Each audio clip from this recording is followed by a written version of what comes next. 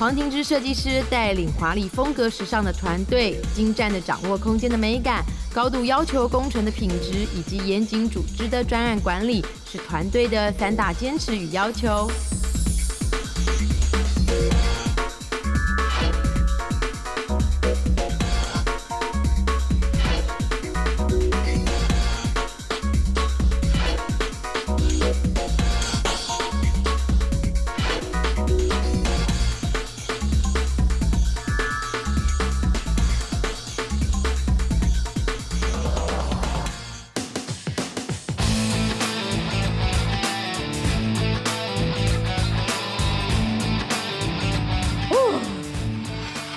今天的屋主呢，他肯定是《玩命关头》一到七每一集他都有看过，因为赛车是他的热爱兴趣之一。那我在想，如果设计师呢，在设计房子的时候，可以把屋主的兴趣跟嗜好放到他的居家空间来，甚至呢，从这个嗜好延伸到其他周边的很多设计的话，那这个房子住起来一定很有屋主个人的个性，还有屋主个人的味道。我们就来听听婷芝聊聊今天怎么设计这个房子。平时说真的，我看过这么多房子啊，我有看过很多屋主把兴趣放在居家空间，像有人喜欢烹饪，喜欢做点心，对那有人喜欢做拼布，有人喜欢做包包、做手工艺，都各自会有一些区块。但是今天倒是我第一次看到屋主的兴趣是赛车，对啊，因为当时在跟屋主沟通的时候，发现屋主他呃非常喜欢赛车的活动。嗯那除了平常他会跟他的车友车队去真的赛车场做一个竞速的一个比赛，嗯那他平常在家里的时候，就是会喜欢用这个赛车游戏来练习自己开车的一个技巧。听说这个 online game 可以跟全世界各地的车手一起比赛的。对啊那所以在呃这个居家空间里面，我们就专属一个男主人的一个赛车活动区。嗯然后刚好因为这个连接的是一个开放式的厨房，嗯那刚好屋主喜欢的这个冰箱的品牌又有红色系的颜色，嗯所以我们就延续了这个赛车的这个主题到这个开放式的一个厨房来，让整个空间就是有一个另外一个色彩的一个亮点。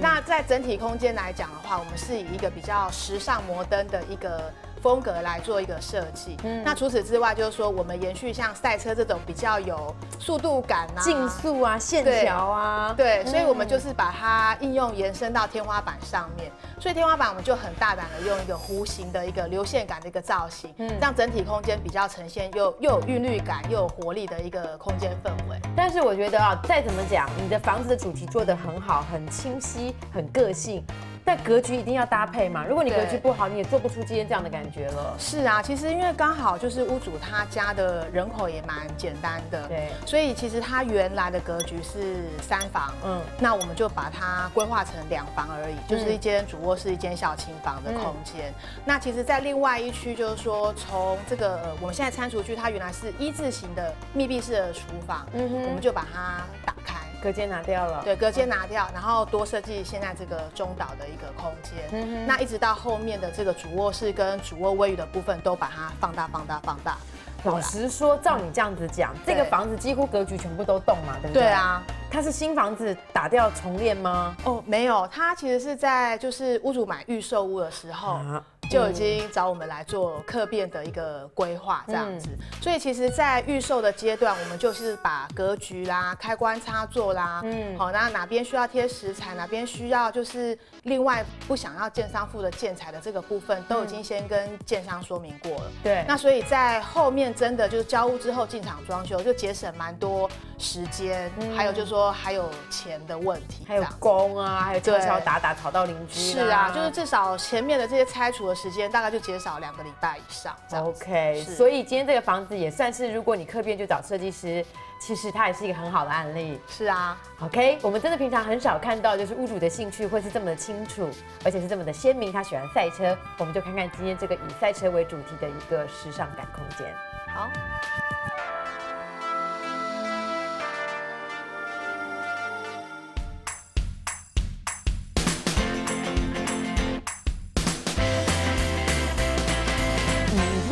电视主墙啊，呃，我不敢直视它，因为直视这个电视主墙会有看万花筒，然后三 D 立体的效果。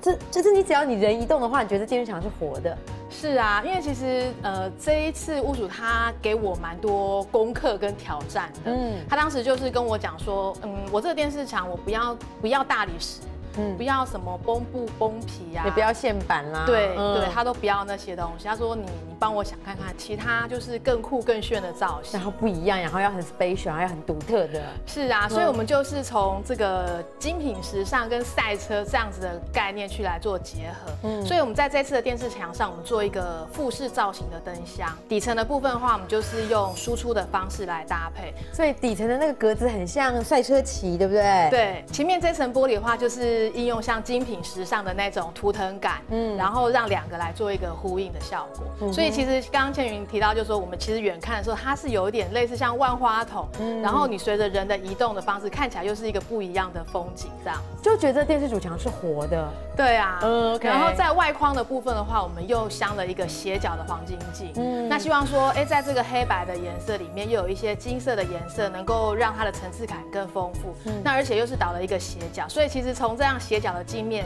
来看这个景象的时候，其实还蛮有趣的。对，像这样的电视主墙，除了让大家有那种惊艳的效果之外，其实你也把屋主想要的展示的功能，我觉得非常巧妙，已经结合在电视主墙里面了。是啊，啊，那今天的这个房子，我想问呢，既然它在电视主墙这么要求要不一样，我觉得它一定会要求你天花板要不一样。对。所以屋主他又跟我提到说，他的天花板不想要那种一般的那种复式天花的一个造型，不想绕一圈的间接层板灯。对，嗯，所以我们就从他的嗜好啦，跟这个呃精品的概念来做一个发想。嗯，所以天花板的部分，我们就是用很大胆用弧形的一个造型，那加上说有一个速度感的一个线条，嗯，再搭配间接灯光的感觉，那让整个空间就是呈现有韵律感又有活力的一个氛围，这样子。说真的，这样子的设计会让人家完全分不清楚哪里有梁。对啊，而且其实我们工班其实我也很感谢，因为其实在设计这个造型的时候，其实在曲面的部分是比较难去调那个角度，嗯因为加上有曲面又有直线，嗯然后在线条的部分，我们又用黄金比例的一个概念来拿捏这个宽窄的部分。那所以在施工中的时候，其实工班真的是非常的帮忙，应该是叫苦连天啊。可是出来的效果真的蛮好，因为你会发现它有弧的地方，基本上它的梁柱都带过了，对对不对？对。OK，像今天这样子的空间，我觉得到目前为止都还让我觉得在视觉的效果上蛮符合屋主喜欢赛车的这个主题的。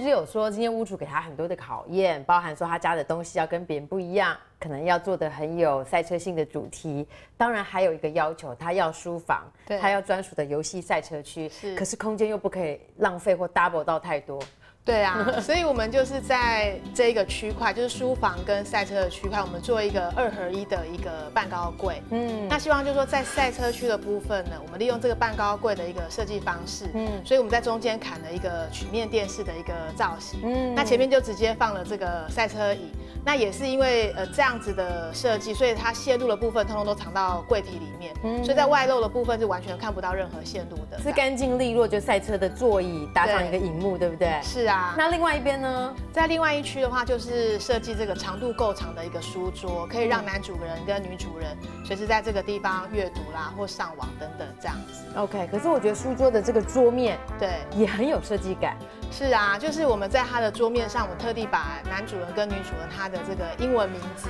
嗯，把它就是烤漆烤在他的这个桌面上面，更有专属感。是啊，好，那么书桌跟这样子的一个后方的墙面关系，我们就一定会想到，可能要给他一些收纳或展示的书柜。不过今天的这个展示跟收纳的书柜做的也很有亭子的特色，因为我知道镜子对你来说已经玩到出神入化了。因为在这个呃，目前我们看到这个书柜跟精品柜的这个部分啊，其实它也是从大门进来的一个端景，嗯，那所以它其实除了就是书柜或者是摆放精品的一个收纳之外，所以我们希望说它能够做得更符合整体空间的一个效果，嗯，所以我们也是用两个 F 字形，有点类似像速度感的一个这样子的延续性，作为这个精品柜的一个设计，嗯，那表面的材质我们就是用黑镜跟灰镜的颜色去做穿插，嗯，那特别就是说在这个层板上面的这个呃架构上来讲，还是倒了一个斜角。难就难在这里。对，导了一个斜角，然后又磨边。那所以其实我们从大门一进来看到这个金饼柜，除了就说屋主的收藏之外，它这整个柜子也是一个很特别的一个呃一个设计。好，那么如果是这样子来看哦，接着下来我们要告诉你，今天空间当中。在门片上面的设计也非常符合你刚刚一开始有提到给我们的一些线条、流线跟速度感的设计概念。对啊，因为刚好就是这个呃书柜旁边 L 型的转角，它刚好是分别进入三个不同的空间。嗯哼，一个校亲房，一间是主卧室，一间是公共的卫浴间。嗯，所以在表面上的话，我们就是呃沿用这个速度感跟韵律感的这样子的概念。所以在表面上，我们就是用灰迹跟烤漆的表现。然后加上它立体的凹凸不同的一个层次，那让这个壁面呈现更立体、更丰富。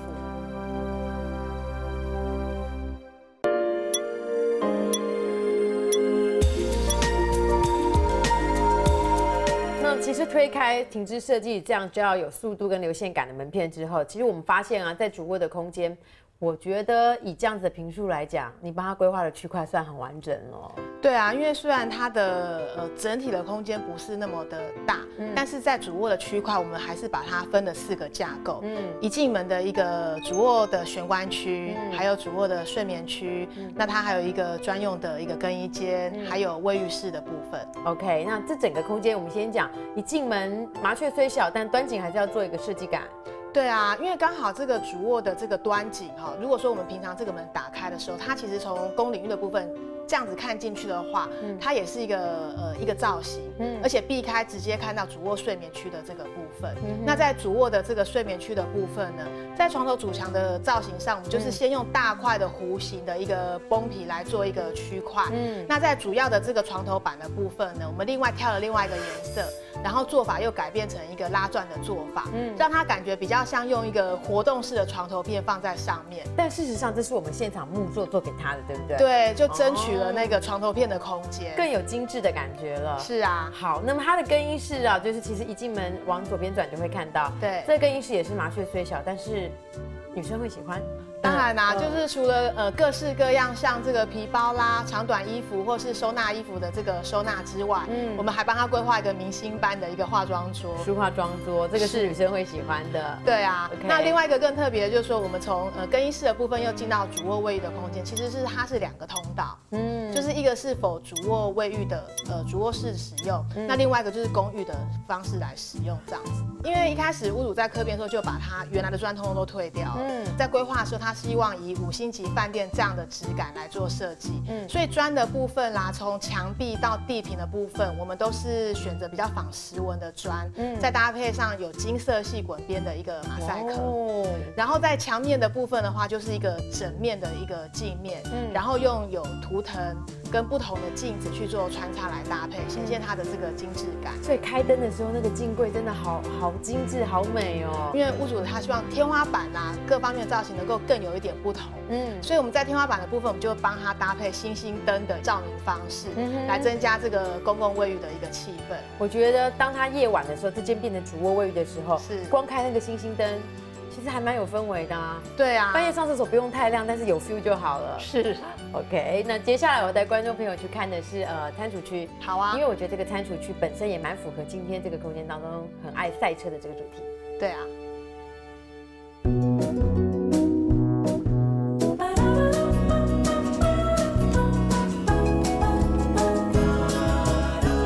今天的空间里面啊，我觉得厨房跟这个男主人喜欢的这个赛车游戏区。其实它是蛮强烈的一个颜色，也比较少人会用红色去做一个开放式的厨房。对啊，因为其实刚好就是呃主人有这样子的一个嗜好，那加上说他喜欢的冰箱品牌也有红色系的这样的元素，所以我们就是串联这样子的赛车的主题，延续到这个开放式厨房的墙面来。我们就是用红色系的烤漆玻璃、嗯酒红镜，还有就是黑镜跟灰镜的元素，然后也是用韵律感的手法作为这个表面的一个设计这样。OK，这边还有一个新的材质，对不对？对，就是在天花板的部分啊，因为屋主他也是提到说，他也不想要像流明天花那样子的规划，嗯，所以我们就选用像格子状的一个金属板，变成是我们的这个厨房的一个天花板的一个材质，其实还蛮时尚感的哦。对啊，而且就是又好清理。OK，好，那么我们来问呢，就是刚刚你说这边本来是一个密闭的一字形厨房嘛？是啊，整个把这个隔间拿掉之后，其实他们家并没有特别要摆餐桌耶。对啊，因为就是家里人口也比较简单，所以我们就是拿掉这个隔间之后，整个开放式，我们可以在这个地方规划一个岛台的空间。嗯，另外就是说，我们透过这个转角的部分，其实里面内厨房都是厨房的机能收纳，所以这个岛吧下面的功能也很强哦。对，就是 L 型的内角的部分是厨房的收纳，那其实这个外转角的部分，嗯下面有一个从外开的一个转角柜，那这样的话，在在收纳空间可以充分利用。红色的餐厨区巧妙的跟赛车的颜色做了呼应，而你是不是也想问这开放性的厨房油烟的问题该如何解决呢？没想到停止马上按下了电动的卷帘，当卷帘放下来，也就可以阻挡油烟喽。